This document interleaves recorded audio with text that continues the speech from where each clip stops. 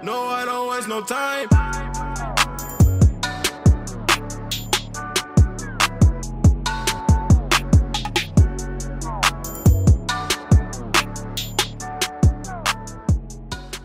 What's going on guys and welcome back to a new video and for those of you that are new to the channel, my name is Joshua Daniel George, a social media marketing online coach and apologies if the audio is not entirely on point. Uh, there is a reason why I haven't done videos like this in a while and that is because since I've moved into the new place it is very echoey. Um, I'm using the Blue Yeti mic and for some reason it's just picking up a lot of echo.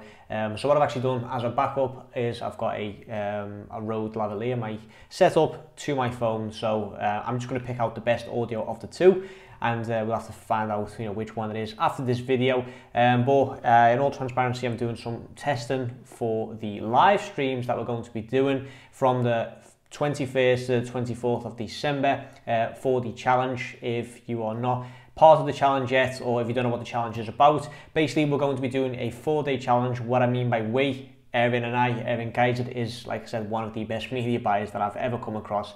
And we're going to be doing a four day completely free challenge just to teach you guys the ins and outs of Facebook ads so that you can get better results for your clients so that they stay for longer, you keep that agency back door shut and you'll be able to you know scale the business much much easier which is also what we're going to be discussing in today's video you know how you can actually scale your agency properly uh, to that next level so that you know you basically from from the bottom where you're currently at now you know you can basically go to the next level to the next sort of um, stage of your agency, if you will, so you, you're, you're out of the trenches, you know, you're not constantly uh, getting a client in, losing a client, getting a client in, losing a client, you know, you're basically able to, to build on that foundation that you've got. Um, and, you know, one of the ways to do that is obviously to get better results for your clients. But like I said, in today's video, we are going to be discussing how you can scale your agency. So how to scale your agency. Let me just add the capital letter T there as well. So a nice so everything is all nice and neat. There we go. So with regards to the challenge, it is going to be um, in a Facebook group. The Facebook group is going to be capped out at 100 people, so you do need to be quick. Um, there are spots still left, definitely, uh, but obviously, you know, it is filled up pretty quickly. Um, and quick side note, you will need to have existing clients in order for this to work. So all of the like homework assignments, etc., will be based on your existing clients. So if you have not got a client yet, just don't don't uh, you know attend the challenge because you won't get anything out of it. It is literally just for those that have already got clients and they want to make sure that they keep their clients. So anyway, enough uh, rambling on about that, how we can scale the agency. So as I mentioned a few times and in um, a lot of videos now, the agency consists of four pillars. These are not pillars, these are squares. Yes, I know. Um, but just to quickly go through this, I'm not going to spend like 15 minutes drawing out a pillar here. So these are the pillars here. We've got outreach, we've got sales, we've got project management, which I'll just call PM, and then we've got project development. Okay, so the outreach part of, so this is basically, you know, the, the this is SMMA in a nutshell. Yeah, so outreach consists of reaching out to potential clients, right? You know, trying to get that pipeline full, trying to get a lot of people either known about your service that you offer or interested enough to actually hop on a call with you. As soon as you can get them on a call, then obviously you've got the sales part of it. Um, this is where you, you know, basically exchange knowledge and value with your potential clients and see if there's a you know, potential to work together with these clients. If there is, then you've got them on as a client. If not, then you know they are either nurtured so that maybe later down the line they can become a client or you just cut all ties completely. Then we've got project management, which basically consists of everything that does not involve your actual service. So this is communication with the client, this is sending reports to the client, this is uh, meetings with your client, meetings with the client's team, and so on and so forth. Okay, and then we've got project development, which is your actual service. So for most of you guys here, including myself, it is Facebook advertising. So uh, outreach is basically where you you know message the clients or call the client and say, hey, listen, I've got a service that you might like Sales is where you pitch them on the service. Project management is basically when you discuss the metrics of the service, you're in communication about the service, and then project development is actually delivering the service, which, like I said, for most of you guys here will be Facebook ads. So now the easiest way to scale the business is obviously to front load the outreach part because let's say one client will equal uh, just bit, just a quick side note for those that really don't understand this um, it's not about the amount of time you put in it's about the results that you achieve so it's called value based pricing and the great thing about that is that the amount of clients you take on is limitless. You know, if you can take, if you can reach out to that many clients that you end up with a hundred clients in your agency, then that is completely possible because one client does not equal a certain amount of time. Of course, you do need to get results for these clients, but let's say an extra 10 clients does not result or does not equal an extra 20 or 30 hours of work okay? Obviously there's a lot you can automate but there's also a lot that you can outsource and delegate as well which i do highly recommend is that you do build a team around your agency. But like i said uh, let's say one client so you know we get one person through the flow that equals um, a thousand euros or a thousand pounds thousand dollars depends on where you're at with your agency and you know what kind of service you offer, etc., and what kind of results you've gotten in the past to validate um, basically you know your price points and of course what retainer can get you a win-win or can get the client a win-win situation as well and a return on investment. So one client will bring in a thousand. Now let's say we want to scale to uh, let's say that is our retainer, yeah, and we want to scale to 8,000 or 8,333, you know, so that means that you basically have a six figure business, you're making more than 100,000 a year. So that means that if you want 8,000, of course, yeah, we can increase the retainers and stuff like that, but just keep this simple, 8,000 equals eight clients, okay? So how do we do that? By keeping that pipeline full. Everyone following along so long, you know, it's not, not rocket science, right? So if one client equals 1,000, then eight clients equals 8,000. How do we do that? By reaching out to more businesses and obviously, you know, closing more sales. But now let's just look at these two for a moment. How can we do that? How can we make sure that we are, you know, basically reaching out to that many uh, people and, you know, that many potential clients and, you know, we're getting so many clients in. Now, obviously, the first way to scale the business, I'm just going to write it down just so everything is sort of, you know, on the, on the screen, is to uh, keep the pipeline full. Okay, so that's number one, keep the pipeline full. Okay, how do we do that? Now the first one is obviously to automate the outreach, okay? So how can we do that? Well, you need to think, how are you now currently doing outreach? The majority of you guys will either be sending cold emails, um, cold messages on DM, maybe you've got a few people that do the cold calls. This is supposed to be a phone, looks more like a banana. Uh, there we go. Okay, so there's a method of outreach that you're currently doing. What we do is basically paid traffic, so I just call that PT, plus cold email. Okay, so this is basically what we do. Now, in terms of paid traffic, the great thing about it is once we know that the flow is, the flow is profitable, we can just increase the budget, which means you'll reach out to more businesses. Yeah, but for a lot of you that um, you know are getting started or only have one client, you don't really want to spend the budget on paid traffic, which it is one of them, right? Like you are offering a Facebook ad service, but you don't want to run Facebook ads for your own agency. Um, you know, it is it's one of them. Like you know, what are you doing? If you don't if you don't trust the service, then why are you offering it? But with that said, you know, for some of you, and you know, I also started with organic outreach. Um, you know, for some of you, it's just not feasible right this moment to run ads, and that is that is fine. You know, there are other methods of doing it, called email outreach, for example. So, how can we automate or scale the cold email outreach? Well, then what you can do is you can find a email software out there that will allow you to send more emails. Okay, so rather than you sending out more emails manually, figure out a way to automate it. Do, do not do what a robot can do. Okay, so let's just call this 1.1. Why? Uh, let me see. So there we go. 1.1. Why is this so big? Let me just make that smaller. There we go. Okay, so either pay traffic or automate the outsourcing, uh, the outsourcing, the outreach. We'll get into outsourcing in just a moment. Okay, so how can we automate the outreach? Can I continue typing here? There we go. So automate the outreach for email. Find email blast software. Okay, you've got loads. There's, there's literally uh, just Google outreach blast software or mass email sender, anything like that. Uh, there is a lot you know, of email software that will allow you to send emails at scale. Now, how do you get the emails is of course the next question because, you know, it's great having email software that will send multiple emails, but how do we get the emails? So that is the next step, right? We need to start thinking, okay, how can we gather emails at scale? Now, of course, there's D7 Lead Finder, which a lot of, of you guys use. Um, which one did I use for a while? I still use actually Marketer Magic. Uh, we don't actually, so Marketer Magic is great for local lead gen. So if you do local lead gen rather than ecom, then Marketer Magic is the go-to place in my opinion. Uh, basically what it does is it just scrapes emails from Google. So you type in, for example, um, fitness or yeah, not fitness, gym. So you type in gym and then the location, London. And it'll literally just scrape all the emails um, of gyms in London. So D7 lead finder, Marketer Magic, what else have you got? Find that lead. Okay, so that way you've got a bunch of emails and then you can upload that into your email blast software and then you send out that email blast. Um, and what I like to do is I like to um, just send them an email saying, hey, you know, I like what you're doing. Um, I've got some ideas for you. Is it okay to send a quick video?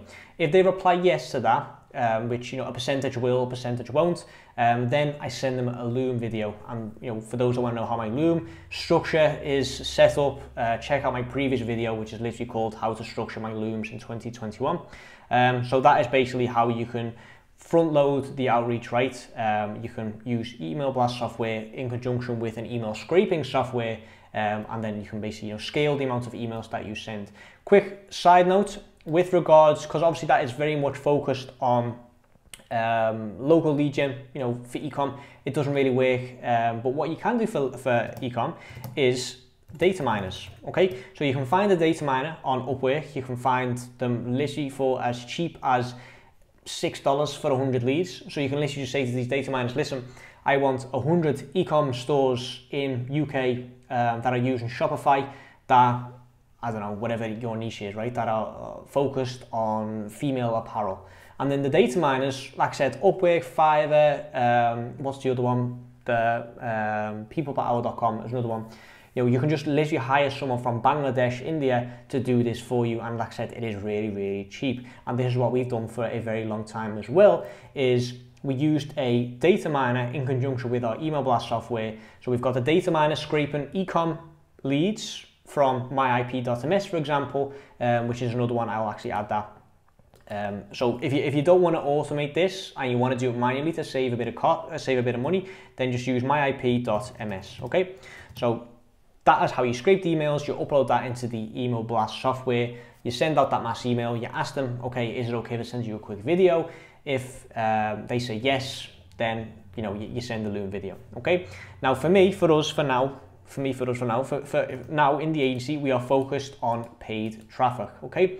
Now, what we're doing is we are running Facebook ads for our own agency and we're offering a free consultation. So the flow, let me just zoom out here, there we go. So the flow for now, so I'll just add an arrow there. So this is our paid traffic flow. I will not type that with the, the pencil, I'll just do it with the, the typewriter. So paid traffic flow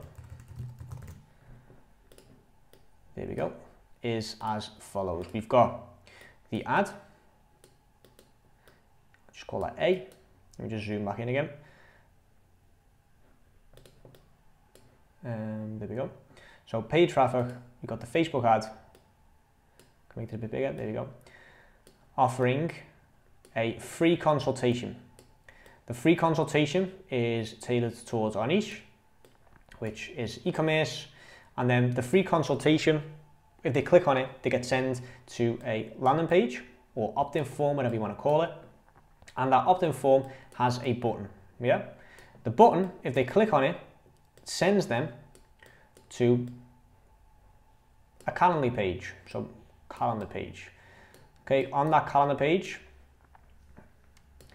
they've got literally our calendar, so you've got all the, the days that we are available and the times that we are available, and then if they click on a time, we ask them for their information. So name, email address, phone number, budget available, website, etc. Then from there, once they fill all that in, can we move everything along? Let me just see if I can, no, or we need to zoom out. I really need to start getting the hang of this bit. Um, not full screen, not pan. Where's pan? Ah, there we go. So it is pan. There we go. So as soon as they fill out all the details to get sent to a thank you page. Okay, so this is the flow, really simple, right? So Facebook ad to landing page, the calendar page, to thank you page. So what we do is we track, okay, how many people that see our ad are on the landing page. If that is more than 1.5%, which means we've got an outbound CTR of higher than 1.5, which means that for every 100 people that see our ad, at least one person clicks through to the landing page. Then with the, the, the, the audience that we're targeting, then we know, okay, this is um, an effective advertisement, right? So that, you know, that is, the rule of thumb is 1%, we want to go for 1.5, so we know that at least one person for every 100 people that sees the ad will click through. Then, on the landing page, we want to track, okay, how many people that are on this landing page are actually clicking through to the calendar page. I think the last time I checked, it was 30%, which is fine. You know, that is uh, obviously the higher the better. I think the average is like 40 or 45%, but 30% for us for now is fine. And what we now want to do, uh, and then basically from here, this is something that we're not yet tracking because we don't just want as many leads as possible. We actually want uh, qualified leads. So I think for now, this is something I like, I don't know, like 20% or something like that uh, but we're not yet tracking this properly. What we are tracking is who actually ends up on this thank you page. And we track that with an event button that we call submit application. Why? Because then what we can do is we can tell Facebook, okay, we want people that are most likely to click on, to fire that submit application um, event. So on the, on the, on the front end, conversions, submit application, um, and then basically telling Facebook, okay, you know, we want submit applications. So Facebook goes out, finds people that are most likely to hit that event. As soon as someone hits that event, that gets basically fed back to Facebook, and Facebook know, okay, this person uh, has fired the event submit application, find more people like that, and then you've got a positive feedback loop.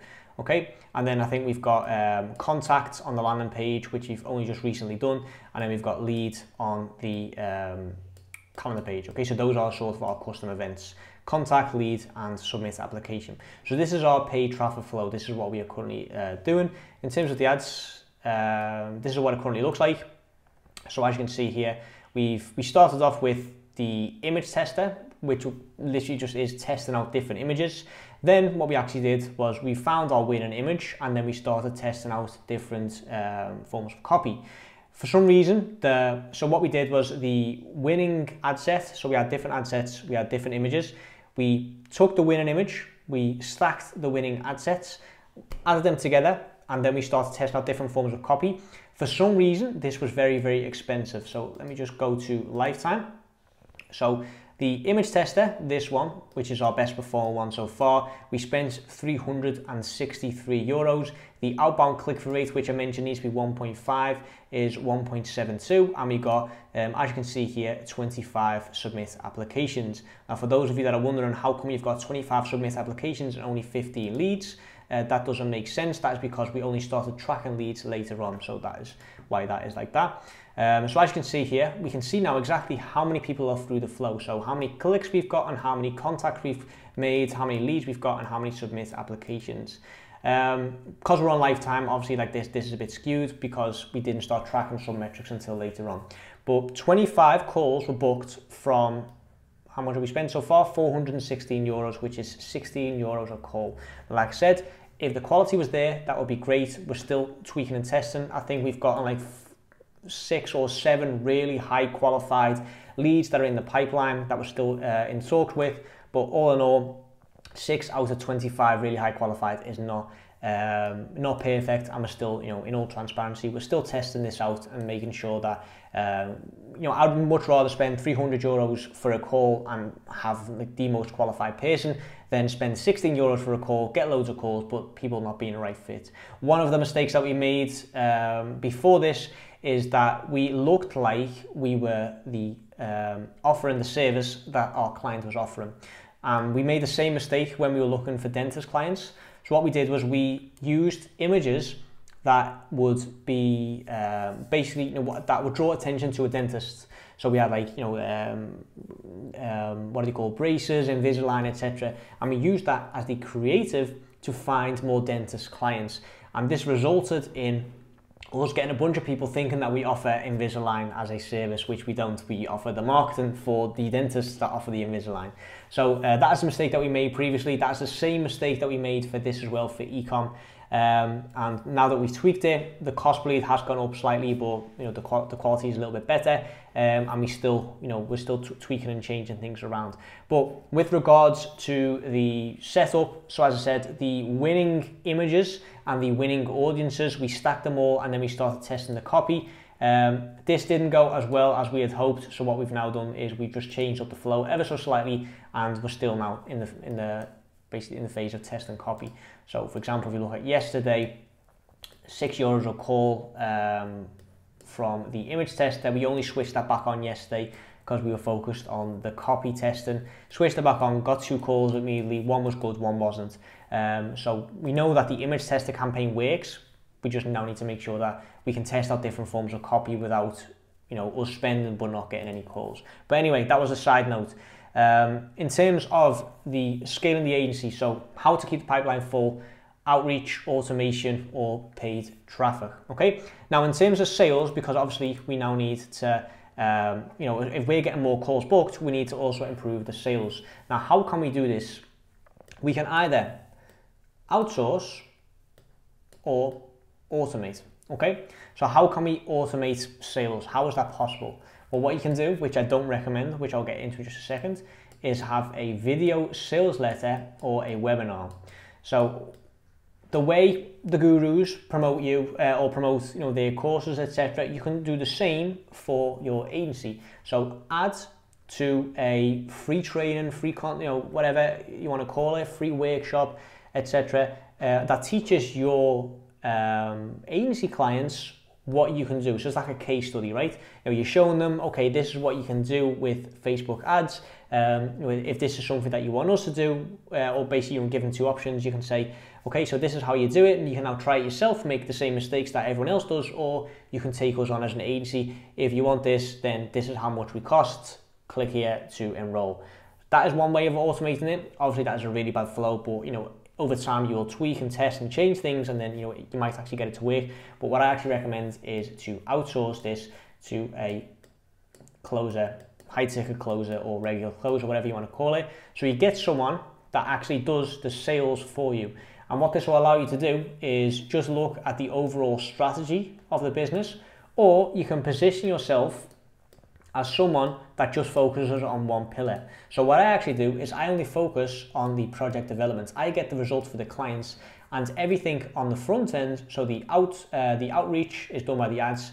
I've got Elliot, my head of operations, that manages the sales and communication. Then the project management is also done by someone else on the team. And then I've got the project development side of things. And that is uh, something that I very much enjoy doing. And uh, I feel like now that we've set up this structure within the agency, that things are just much, much better, much more streamlined, and um, just much calmer. You know, there's much more predictability. Quick side note, Elliot, I know that you're watching this, and yes, you do help out a lot with the Facebook ads. Uh, so just quick side note there, Elliot also helps with the fulfillment of it. Um, but with that said, so how to scale the business with sales, outsource the sales part via a closer or anything like that, or you know set up a paid traffic webinar or landing page or case study funnel. Okay, same goes for the outreach, by the way. You can also get appointment setters. Um, the only thing with appointment setters, I'll just add a quick side note to that. So, appointment setters, what you can do is you can say to them, you get 10% for every client that we end up closing. So, they set the meetings, someone else takes the meetings or you take the meetings and then from there um, you know if the client it becomes a client then you give the appointment setter commission. However there's no real incentive for that person to continue doing this and continue working. Um, so what I would highly recommend you do if you're going to get an appointment setter on is give them a fixed salary just so you sort of own them right? So you know okay this appointment setter is going to be working um, because he is getting some kind of salary. Then give them a fixed price for every appointment that they set and then also give them a percentage of uh, the deal that, that you know that gets closed. And yes, this will cost you more on the front end, but it will also incentivize the appointment setter much, much more to get more people in and you know to basically keep front loading that outreach part. Okay. Now, in terms of the project management, another thing that uh, we can scale or automate, etc., is um, by using one form of communication and one software. So what we actually do, rather than sending reports, we just use Loom, which you know makes sense. We just show them the metrics, see, show them what works and what doesn't. Um, but one real game changer for us is one form of communication. Now, for some of you, that is very common. Oh yes, we just all use Slack. Oh yes, we just all use Asana or whatever. Um, but for us, you know, we yes we use Slack internally, but we still had clients that already had everything set up in Basecamp, that already had everything set up in uh, what, what's the other one? Not Basecamp, but there's, you know, there's obviously there's multiple pieces of software there, and they did not want to move just for one agency, move everything over to Slack.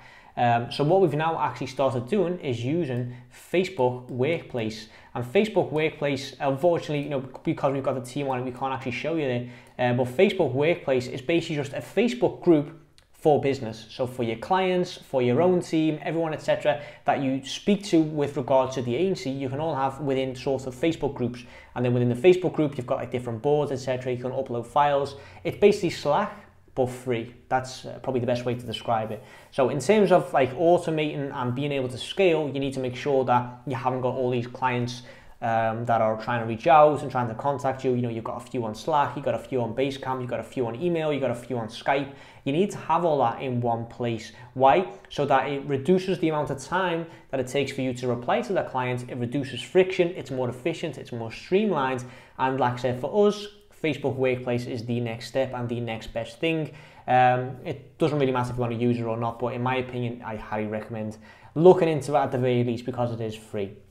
Then with regards to project development, how can we scale this? Now, if you do not want to do the fulfillment part like what I'm doing, um, if you do, then quick side note, just constantly be a student of Facebook ads.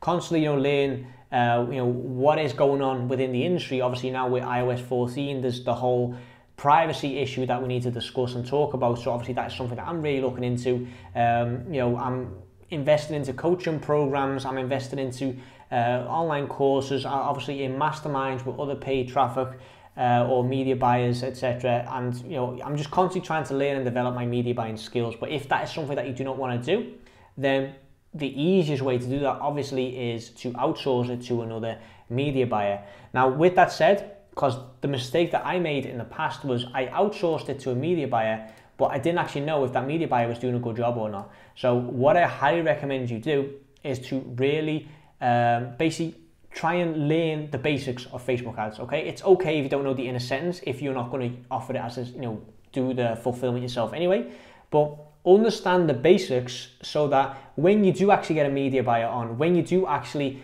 um, look into outsourcing the paid traffic, you know if that media buying is bullshitting or not. Because I've literally I've took on a media, but obviously this is back in the day, right? But I took on a media buyer um, for he was two hundred pounds a month, and his portfolio was like page likes and lead gen and um, stuff like that. That looking back, it like he showed me like cost per clicks that were like 0.1 uh, euro, and I thought, okay, well that that must be good, right? He's got it in his portfolio. You know, he obviously knows what he's doing. But looking back, you know, because I didn't know, I didn't know what was good and what was bad. Even when he asked, like when I look at all reports that we send clients, it was like, okay, well, uh, this week the click-through rate was up by 2% and this is good, so we're now getting better results. And I was proud. I was sending that to the client, right? I was saying, "Oh, you know, our click-through rate is up by two percent." And looking back, I think like, what, what can the, what can the client buy from the click-through rate? You know, does that put food on the table? It doesn't. At the end of the day, the only thing that matters for, especially for ecom, is purchases, pages conversion value, return on ad spend, return on investment. That is all the client cares about. If you're not getting a return on investment for the client, he does not care if that click-through rate is 10% or 1%. You know, he is not getting uh, that return that he's hoping for. So then obviously, you know, that is how you will lose the client. So make sure you understand the basics of Facebook ads before you look into uh, outsourcing, you know, to a media buyer, etc. Um, and then one last tip before we finish off this video, with regards to the media buying, the outsourcing, etc also make sure that that person fits what you want that person to do.